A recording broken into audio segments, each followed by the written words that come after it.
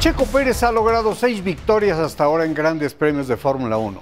La primera, que ayudó a dar un giro muy importante en su carrera porque propició su llegada al poderoso equipo Red Bull, fue en el circuito, el de Bahrein, cuando ya caminaba hacia su última participación con Racing Point. A partir de la siguiente campaña, para Red Bull ha ganado en Baku, Mónaco, Singapur y Jeddah. Pero ha sido Baku donde ha vuelto a ganar y en forma contundente. Dos carreras en un solo fin de semana un sprint y un gran premio. El rey de los circuitos urbanos, como se le ha bautizado, sumó 33 puntos con sus impresionantes actuaciones en el de Baku y después de llegar con una diferencia de 15 puntos con su coequipero, deja a Azerbaiyán a solamente 6 del doble campeón del mundo.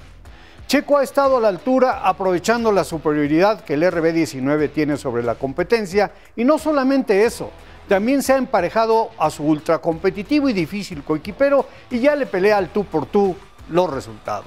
Durante su estadía en Red Bull, Checo ha tenido momentos complicados que le han costado en posiciones por errores estratégicos del equipo, pero esta vez fue Max Verstappen el afectado por uno.